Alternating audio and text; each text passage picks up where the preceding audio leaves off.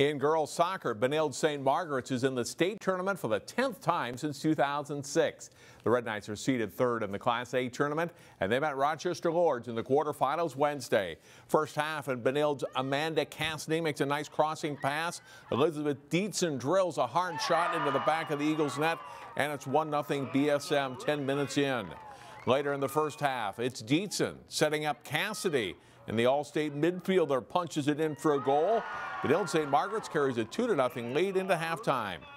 Second half, the Eagles get a good scoring chance, but Red Knights goalkeeper Anna Poland robs Jordan Berg of a goal, and it stays 2-0.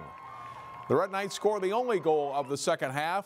Senior Danielle Gonyea converts on a penalty kick. The Red Knights win 3-0. They'll face second-seeded Orono in the semifinals Tuesday afternoon at U.S. Bank Stadium.